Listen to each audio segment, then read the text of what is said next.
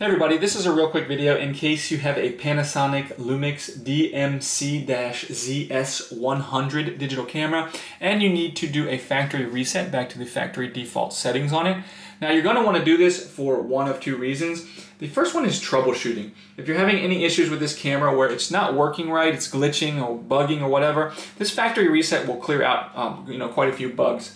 Now the second reason is, is there's a ton of settings on here and we can change them manually, but sometimes it's easier to just get a fresh start by just wiping everything off of it and um, starting as though we had a new camera. And on this camera, it's super easy to do.